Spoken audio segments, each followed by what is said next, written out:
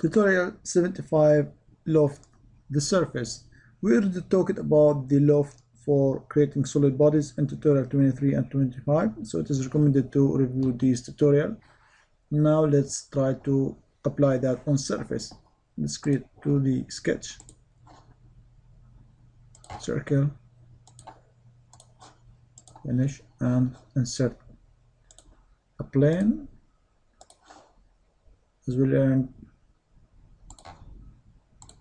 offset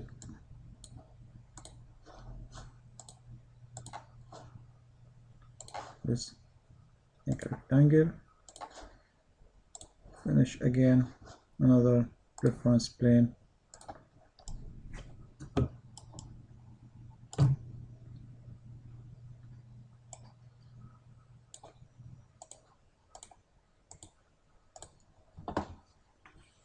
Ellipse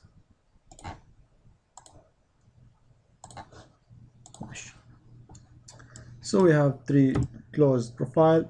Let's try to loft them. Activate the loft and the sections. Select this section. Second section. Third section. Now have your lofted. But this one is a body. Solid body. Just now click on surface. So you have the surface is activated again select your sketches.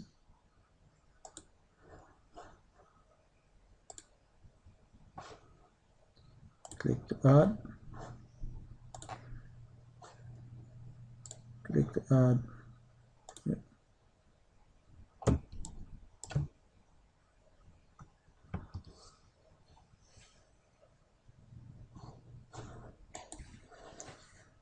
so if you have some difficulty to select the sketch because it's selecting an edge instead of the whole sketch you can try to find the sketch on the left tree.